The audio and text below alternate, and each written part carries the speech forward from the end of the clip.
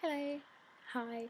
Um, today is day two of the James Duncan diet. I weighed myself this morning and I weighed 69.5 kilograms.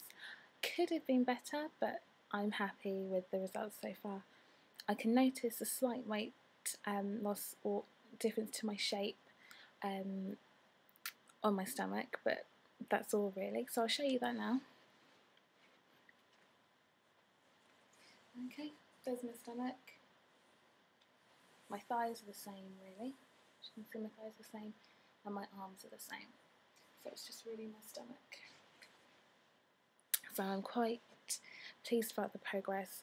I was out with my friends today and we had lunch. I brought a prepared lunch um, from home, which was chicken and tomatoes, which is what I'm allowed today. So it went quite well. I was slightly tempted, but um, you know, it, it was fine um, Because we had our babies to focus on, so I wasn't really thinking about the food. But tonight it's steak for dinner, and I'm quite excited. So um, that's something to look forward to.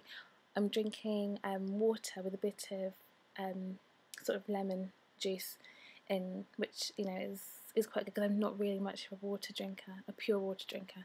So that's going quite well. So what I'll do is I'll update you um, tomorrow, which is day three, on how things went for me. Uh, well, in the morning when I weigh myself. Okay, thank you. Bye bye.